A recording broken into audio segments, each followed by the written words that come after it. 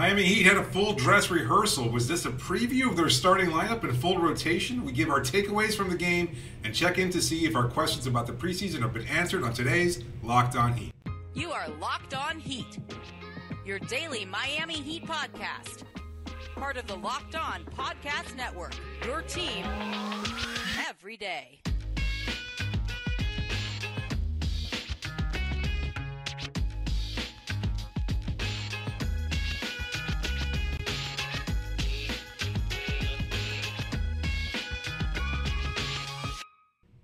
Welcome to Locked On Heat, your daily podcast covering all things Miami Heat. However, you might be tuning in on YouTube, Audacy, or on your favorite podcast app, thank you for making Locked On Heat your first listen every day. I'm Wes Goldberg here with David Ramil, recording from the underbelly of FTX Arena following the Miami Heat's final preseason game uh, a 120 to 103 win over the, the New Orleans Pelicans, but that doesn't really matter because it's preseason. What really matters is that this served as the only and final dress rehearsal before the start of the regular season next week, and the reveal of Erik Spoelstra's starting lineup and the bench rotation. So on a night when it was only Omer Yurtseven out, Spoelstra started uh, Kyle Lowry, Tyler Herro, Jimmy Butler, Caleb Martin, and Bam Adebayo. That's the starting five that you and I had long expected.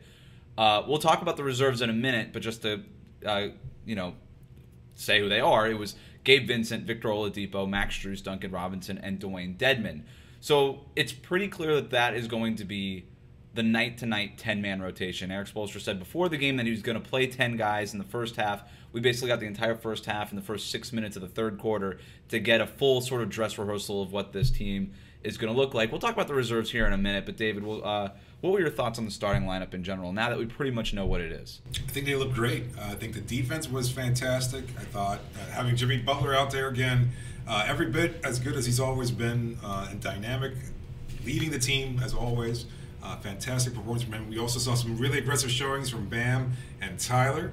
Overall, though, it was just the, the faster pace. Well, we saw them moving the ball quickly, swinging the ball around constantly. It was a constant motion on offense. Defensively, again, very, very strong unit. Lots of passing, lots of versatility. Switching on defense, I thought there might be a mismatch there with Caleb Martin having to guard Zion Williamson. But overall, just because of Miami's strengths, uh, being able to switch, their quick-footedness. Yes. I think they were just able to adjust so so often that there was really no mismatch. They were just actually be. I think they did a fantastic job defending early on. They may have lost some of their swerve a little bit later on, but overall, I think uh, they just did a really really good job. It was kind of a good stress test, I thought, defensively for this group because you mentioned Zion Williamson versus Caleb Martin. Caleb Martin going uh, with basically the strategy of fronting Zion Williamson. Caleb talked to us a lot about that uh, during our media day interview with him. Just the fact that yeah, he's recognized he's not undersized. Caleb Martin knows he's not six ten, but he also said, look, the the way we switch and the way we try to disrupt things, like defensively, Miami's theory is always muck it up as much as you can for the opposing team and just make them use a lot of seconds off the shot clock. They were one of the teams that led the league last year in just opponents using the shot clock uh, on their on, on opponents' offensive possessions. And Caleb Martin is is well suited because he's so active and he just jumps in front of guys and he and he just he just makes it hard for guys to just catch the ball. And it's not to say that they're not going to. There's moments where Zion got the better of him, but overall, I thought he did a good job. I thought Tyler Herro actually did a pretty good job defensively. They they tested him. They were like, "Hey, man, your assignment C.J. McCollum," and obviously with Miami's switch everything scheme, he ended up sometimes on uh, Willy Hernangomez, who started for the Pelicans tonight. Should also mention no Brandon Ingram or, or um, you know, no Brandon Ingram and Zion only played. Yeah, no Valanciunas, and then Zion only played 11 minutes tonight. So it was a, technically um, a smaller lineup than it usually be. Valanciunas right. has been a matchup problem for Miami in the past. Yeah, it was inside-outside game. Even over a guy like Bam, he's always been able to really pull down those rebounds. So Miami might have had a slight edge there with just because they didn't have their full contingent. But overall, yeah. though, really strong showing. I'm glad you brought up Tyler. Four blocks on the night. Four blocks. Uh, just seems to be moving his feet well. Just really seems to take pride now. He's growing in that role, much more comfortable and he's he's put in the work. the muscle, and the, you could tell how the muscle makes a difference. I don't really know how much of like a by degree how much of a difference, but he looks more comfortable there, bodying up dudes. And so whatever, the, there's a confidence that comes with the work that he's put in in the weight room and otherwise. Even at the basket, like he was willing to just like get like junk it up at the rim. He was he he was uh, trying to contest shots at the basket with his uh, negative wingspan, which I didn't think was a big deal. Like you said, four blocks tonight. Most like those blocks are sort of fake blocks. They really should be credited as steals because he's it's when the guy mostly has the ball coming up and he, and he swipes it. Um, it's more of a steal than a block, but whatever. He gets the credit for the block. It's okay. Hey, turnover. It doesn't really forcing matter. That's why we kinda call him stocks. Absorbs the contact because of the improved physicality. I think those are the strengths that he can bring to the table. Going back to the offensive end, and Bam Adebayo pointed this out in post game that the starting lineup had 15 assists between them. That's obviously going to be what the this offense's identity is. What I found interesting was that even though Kyle Lowry is the point guard to this team and is very much a traditional point guard in that sense, there was really no traditional ball handler. It was sometimes Tyler Herro bringing it up. It was sometimes Lowry bringing it up. Sometimes it was Jimmy. Sometimes it was Bam. Um, even Caleb Martin would push it in transition and semi-transition. And so I think that's a really kind of interesting thing about this lineup.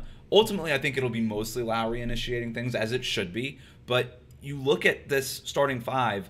Everybody can credibly bring the ball up and initiate offense. Caleb Martin to a much smaller degree than the other four, but like you said, like he could get a rebound and push it in transition and make a play with it, right? he had a nice slick pass under the rim. Even yeah, even in half court sets, there he recognized the mismatch with Zion Williamson, who's much too slow to guard him and not very strong defender. For all he does offensively, able Yeah. to pull his way to the rim. Not a great defender. Not a great defender. So Caleb recognized it, took his time, said, "Oh, you know what? I've got the inside step."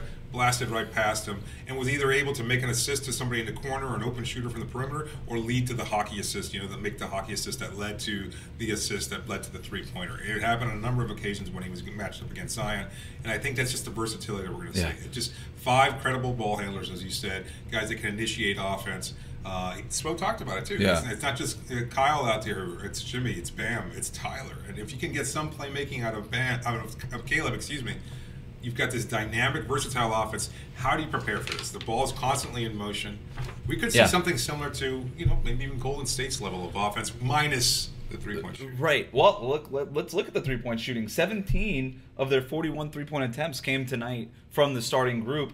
Um, they made seven of those 17 Mostly 'cause three-pointers. That's a really good. Yeah, Tyler went five for seven, made his first four from three-point range. I love the spacing that Tyler Herro brings to that starting lineup. That's the other part of this. Um, we almost buried the lead here because he had 23 points in his 25 minutes, eight of 15 overall, five of seven from three-point range. Uh, had four rebounds and an assist, and we also mentioned the four blocks. I can't believe the first thing we talked about Tyler was his defense. Uh, but You and look- Spo both crediting him as an elite shooter. Yes. Yeah. I, I don't know why this is not known. He like his catch and shoot numbers were like bonkers last year. Just top 1% in the league in a world that does not include Steph Curry. Tyler Herro is an elite three-point shooter and of those four three-pointers that he made, the first four, he made all four of them. All of them were catch and shoot three pointers, and a lot of them from the corner too. He's an elite floor spacer. They are going to miss nothing by not having Max Strus or Duncan Robinson in the starting lineup from a floor spacing standpoint. But then you get the added benefit of all the other things that Tyler Herro can do, which is run pick and roll with Bam Adebayo, which is set screens for guys and be a threat. Like he could set. He, there were times tonight where he's setting screens for for uh, for Jimmy Butler or Kyle Lowry out on the perimeter, and because he's such a good shooter, That's not something we've seen from them in the past. no, It's and, and added physicality. it is, and we wondered like losing PJ Tucker. You know, I think Caleb Martin is as good a three point shooter, if not better than PJ at this point. Um, but PJ Tucker is such a great screen setter that I was wondering how they were going to replace that. And the, I, my initial thought was, well, just Bam will set more screens in the middle of the floor. The answer, as at least from one dress rehearsal, it looks like it's just by committee. Everybody is going to screen for everybody all the time. You made a great point with the Golden State thing. No two teams moved more off the ball and cut more off the ball last year than Golden State and Miami, even though Golden State was still a little bit ahead of them in that regard. Uh, but that's what it's going to kind of take, and and you know everybody was asking Erik Spoelstra about this after the game, and even Bam said uh, he loves. I have the right quote here.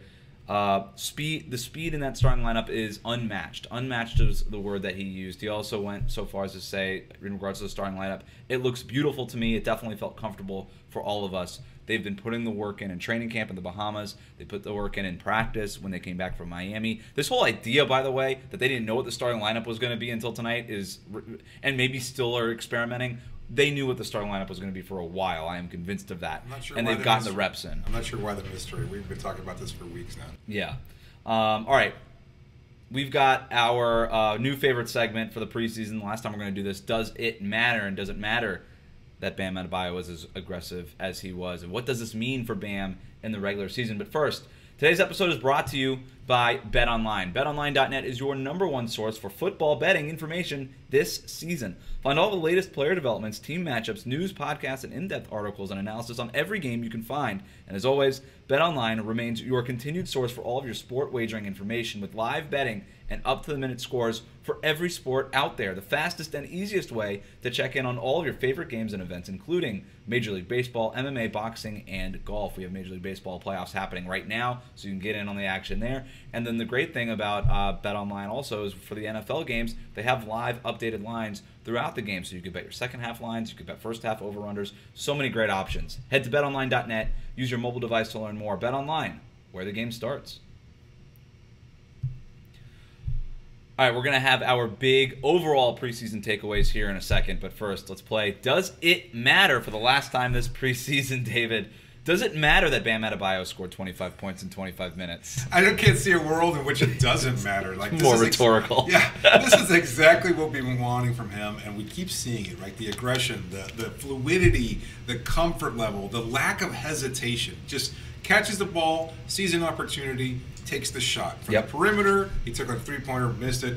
Fine, not a problem at all. This is the kind of in, in rhythm aggression. three, kind of in semi transition. I, I like he, I like when he's stepping into that three pointer, left hand or right hand, shoot the ball right at the top of the arc. It's a natural three pointer. If you're going to start as a center, taking threes, that's where you want to take them. Yep. Uh, also shooting the uh, mid-range jumper on a couple of Yeah. occasions, knocking it down again very comfortably. Whether it was Hernangomez, Williamson, or anybody Yeah, yeah. else guarding him, he felt comfortable taking the shot. Uh, also, 12 trips to the free throw line.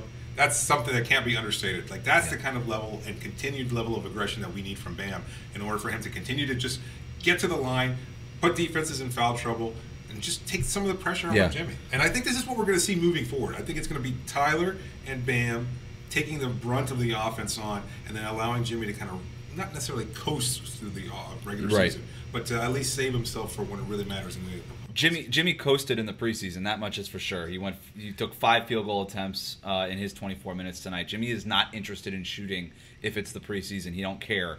Uh, but I do agree with you. Bam took 12 field goal attempts, which matched his free throw attempts, which is a great. That's a great ratio uh, for Bam. Tyler took 15 field goal attempts. That was by far the highest on the team, and I I think we're going to see that. I think with, between those two guys, and you look at who they're sharing that starting lineup with. It's, it's Jimmy, who's much more interested in uh, setting up those teammates and playing defense and, and rebounding the ball in, in the regular season, at least the playoffs. And he's gonna he's, he's saving all that stuff for the postseason, as we've learned. Kyle Lowry very happy to just get guys involved, kind of set the table and things like that. And then Caleb Martin keeps calling himself a plug-in guy, so he's not looking for his shots. He wants to get offensive boards. He wants to he wants to kind of take the scraps, and he's happy with that. So it's going to be Bam and Tyler getting a bulk of those shots. I loved how Bam. You, you I want to go back to a word that you said was rhythm. And I love the rhythm. He's figuring it out. He's figuring it out when to take shots, where to take shots. Um, at first, it was everything at the rim. Get to the rim. Get to the rim. Set a screen. Dive hard. Get to the basket. And that's what he did. Right. End of the second quarter, kind of in the beginning parts of that third quarter and that initial stint in the second half, he starts hitting those turnaround fadeaways. He's feeling it a little bit. He's getting. He's got to the line early, so he's able to get some shots off. And he starts feeling himself, and he's starting to hit those shots. And they were still quick, right? It wasn't like that weird. That, when Bam gets in trouble, it's that weird herky jerky mid range stuff, and he'll turn around decisive, into something. decisive. It's decisive. He feels himself. He's in a rhythm. He can st- shoot that, and then later he ended up taking that one three pointer, which I love. I love that he just took the one. He's not super aggressive about it. He's not spamming the three point line. He just took the one to We've keep seen him honest. enough over the preseason. Are we Yeah. comfortable saying that this is going to be the norm in the regular season? Bam, agro bio. I think that's where we're going. Right, let's let's move on, shall we? I think that's the, our, Does it matter that Nikola Jovic got time with the starting lineup? It's fine. I don't think it does actually. I think he's gotten occasional playing time during the preseason and practices and things of that sort. It's nice to see him in that comfortable rhythm. Bam talked about what a hooper he is. Yeah. Uh, at the same time, I don't think we're going to see that happen very frequently over the course of the regular season. So I'm not taking anything from that. It i agree with you it matters in the sense that we kind of got this weird time machine look because you know why they drafted Jovic is as a potential front court partner down the road for Bam Adebayo. Bam had very nice things to say about Jovic. Uh, Jimmy Butler said he's a hooper, and or I guess it was Bam that said that. He said he's really smart for somebody who never graduate, who hasn't graduated high school yet. Right. And that's like that's coming from Jimmy Butler, whose basketball IQ is second to none in the NBA, probably. Um, I I love hearing his his teammates talk about him like him and just juice him up a little bit in that way because it felt really uh, authentic to me when we were there uh, and the way that they were saying it. I like that we saw it. Like I said, it was kind of this interesting time machine sort of look at what it could be. Um, I think it was Jimmy who said it looked really comfortable. He looked really comfortable out there. Maybe it was Bam. I don't remember exactly, but it did. It did. And um, look, it wasn't. You know, there were minutes there. Jovic with that starting group, he actually helped them uh, go go up by ten and kind of break the game open. Um, he also picked up what three fouls in, in his first five minutes, I think. So there's, this and, and you know got bulldozed by Zion on a, on one occasion, which you know happens to everybody. But I'm so I'm not ready to say yeah let's get let's give this group a whole bunch of minutes right away. Um, but it was just it was interesting to see. It was fun to see, and it was interesting that Spo was just like you know what, let's see it. Like let's just throw was last preseason game. Let's throw it out there. Does it matter that Haywood Highsmith was not part of the ten man rotation? Does it matter that he wasn't uh, to nobody except Haywood Highsmith? I think. Like I, I just think that this is going to be the norm. Unfortunately, I think. He, look, no Omer Omer Yurtseven out tonight. uh, Also, and, and we expect that he's going to get more playing time moving forward than Haywood Highsmith is. So the fact that Highsmith didn't play, I just think it's more of an indicator that he's just not going to continue to get that playing time. Unfortunately, because I, I mean, again, I think he's brought in a lot of effort. I talked to him in practice today before the game. Uh, he says he's gotten a lot of positive feedback from the coaches and continues to do the work. Unfortunately, he just didn't get the playing opportunity until late in the fourth quarter. I think. Right, yeah, the garbage time minutes. Uh, we know what the top 10 is. Like we said, the starting lineup with Gabe Vincent, Victor Oladipo, Max Strus, Duncan Robinson, and Dewayne Dedmon coming off the bench. Now, I'm interested to see if it's if it's uh, well, Nikola Jovic got those like weird minutes when Dedmon got into foul trouble, but I think Spo's initial thought was to just go with 10. But then yeah, Yo, that's and that's when Jovic will probably see minutes in the regular season is kind of like weird, Yeah. wonky Hybrid- things. Hybridized Um, foul trouble related minutes. But uh, I'll be interested to see who actually has the lead backup job because, like you said, no Yurtseven tonight. Um, he was the only guy that was really unavailable. So, is it Dedmon that's the backup center? Is it Yurtseven? I think it's Dedmon. I think it's going to be Dedmon. I think it was Yurtseven's job to earn in the preseason, Dedmon's job to lose. And I don't think Yurtseven did enough in the preseason to outright come and earn it. Now, maybe they feel differently based on what they saw in practice and in training camp. But if you're asking me, I think it'll probably be Dedmon as the primary backup to Bam. But like like in foul trouble, if Yurtseven was available tonight and this were a regular season game, instead of Jovic coming in, I think that would have been Yurt coming in, right? So or maybe they maybe they do try to go 11 deep and they play both. I don't I don't It's really know. just 11 deep. Like we we talked, we've seen interesting lineups uh, throughout the, all the preseason. Yeah. We saw Jamal Cain get significant playing time. Jovic has had his minutes. Drew Smith, we should mention, just signed to a two-way Yeah. deal. Just announced as we were. Well, that was my next question. So yeah, we're standing there, Oh. we're sitting there. No, no, let's just. Does it matter that Drew Smith got the two-way contract, which ostensibly means that they've waived Marcus Garrett? yeah, uh, it's unfortunate. Uh, Spo caught off guard uh, late to his media appearance because apparently they were, in his words, I think, working on the business end of things. Yeah. Which means some guys are getting cut today. Some uh, players are getting, I guess, designated for the Sioux Falls Skyforce, and we'll see what happens. Nothing officially announced as of a recording right, Right. now, and I don't expect anything to be announced anytime. But he, it, it's happening. So it's Drew Smith is the on the two-way. They're gonna go ahead and waive Marcus Garrett. I would imagine Marcus Garrett probably finds his way back onto the Skyforce because they they love him. Um, and this also means that Jamal Cain and Drew Smith are now the two two-way guys. Um, Jamaree Bouyea on his way to Sioux Falls. Um, Orlando Robinson. Orlando Robinson on his way to Sioux Falls. Mychal Mulder, who they brought in late in this whole process, probably on his way to Sioux Falls, or maybe he finds a different uh, landing spot there. Um, but yeah, those Exhibit 10s will be done as expected. Drew Smith has done a good job. Uh, you and I mentioned Drew Smith as a potential Gabe Vincent replacement in case by next year Gabe Vincent is signed elsewhere because Miami's not going to be able to sign Gabe, Max, and Omer. So we'll see. But um, I think these are the two guys that earned it. I thought it was Drew Smith and Jamal Cain. That made sense to me based on what we've seen in the preseason. Yeah, above anybody else, absolutely. I mean, unfortunately for Garrett, again, part of the system for a long time. They've already seen what he can do, and it's not enough. And I think a lot of that was precipitated also by the injury. Is that that right wrist, man? It's it's a bummer. You'd like to have seen him play with that defense and start making those threes the way that you know he, the Heat obviously think that he can make, but we just never seen it because that right wrist has been so bothersome for two years. Um, the preseason is over, so we're going to zoom out and take a look at what we learned about the Heat uh, and their starting lineup next here on Locked On Heat. To help Heat fans get ready for the upcoming season, Official League, the fastest growing sports merch company, is launching an exclusive limited edition hat inspired by Miami Heat star Bam Adebayo and designed by viral artist NBA Paint. Only 100 are going to be available of each hat for purchase at officialleague.com, and the new silhouette features a funny food character inspired by each player. And Bam Adebayo is Ham Adebayo. Oh, Here's even better news. We're going to be giving away a free hat to one of you. All you have to do to enter for our chance to win a free Official League Ham Adebayo hat is leave a five star rating and review on Apple Podcasts or on Spotify, and then email a screenshot of that review to lockedonheat at gmail.com. Or only catches that you have until Bam Adebayo attempts at least 18 shots in a game. Probably would probably would have done it tonight if he played his normal right. 100 minutes. Only played 25 minutes tonight. Once he does that, we're going to close entries. So get on it now. Email a screenshot of your five star rating and review to lockedonheat at gmail.com for a chance to win a free official league Bam Adebayo hat. Before we get into our preseason takeaways sort of thing, uh, shout out to Manny of the Miami Heat organization working here at FTX Yes. Arena, allowing us access to this glorious room. So, uh, a listener of the show congratulated us on our success, but we wouldn't be having that success without listeners like him and all of you. So, otherwise, thank you so much. otherwise we would still be in the media dining room with all the noise in the Or background clips, as they yeah. take down Yeah, FTX exactly. Arena. Good times. We're calling this our post preseason answers to our pre preseason questions, David. That's a long time. Let's get right to it. Do the Heat have an answer at power forward? Do they have an answer at power forward? Absolutely. His name is Caleb Martin. Uh, that's the projected lineup that we've talked about for a long time. I actually predicted, I think in our predictions, I said that Jimmy would be getting significant playing time. You said it would be Caleb.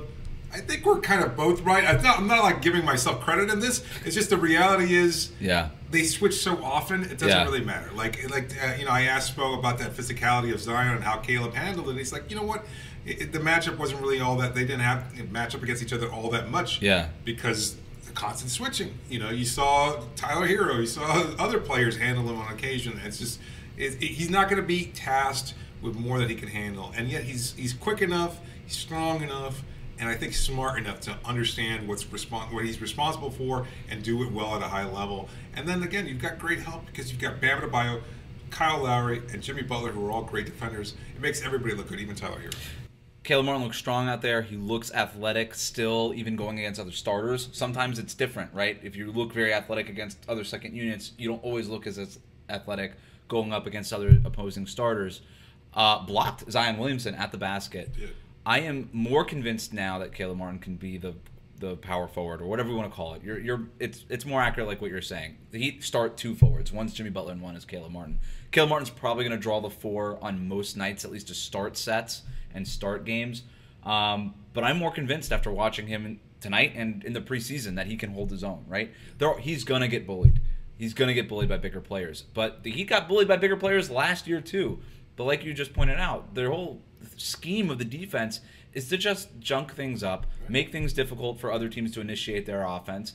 And and I think the other thing that's kind of quiet about Caleb Martin, he closes out so quickly on shooters. Miami gave up a lot of three pointers last year. I think more than they wanted to. I know some of it is by design. They gave up more in the corner than I think they were comfortable with last year. Most but in the league. most in the league, and teams shot it at a bad percentage. Yeah. And I think that was more fluky than not. Caleb Martin's much faster closing out. Though PJ Tucker is a better defender, no doubt about it. But Caleb Martin is faster closing out on those shooters that it's just something I'm monitoring. It's just something I'm monitoring is is he able to close out on shooters in a way that starts to limit how many of those threes that Miami's giving up in the corners above the break? Give them up. Who cares? Are you concerned about him limiting the shots themselves or limiting whether or not those shots fall? Because I think the shots thing. themselves, just closing out, or however, I guess, just closing out and getting them to either give it up or about just giving up a low percentage of them. They'll, they'll Yeah. be content giving up 50 threes a game or three, uh, 50 attempts per game Yeah. as long as they're shooting it at 33% or less, which is what happened last season. I think you want to limit the attempts from the corner. Give them up above the break. Who cares? Limit it from the corner. I think Caleb's just a little bit quicker closing out there. Something to monitor. Um, more post preseason answers to pre preseason questions. Will we really see Spo use a big lineup? Uh, I don't know. I don't know if that it was answered. Like we saw it. We saw him tinker with it. He referred to it as a big lineup.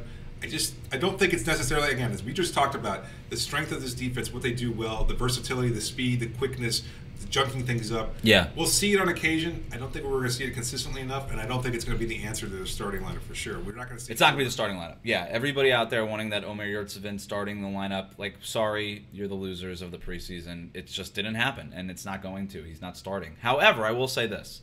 Uh, I do think we'll see Spo use a big lineup during the season. I think that even with a, I don't think he loves the Bam Adebayo Dewayne Dedmon pairing, but I think he's okay with the Bam Adebayo Omer Yurtseven pairing. For whatever reason, I think he's a little bit more comfortable having Big Yurt and Bam together in the front court than uh, Bam with Dewayne Dedmon. Um, I also think it's notable. I don't know. I really don't. I think maybe he just trusts Yurt as more of a spacer.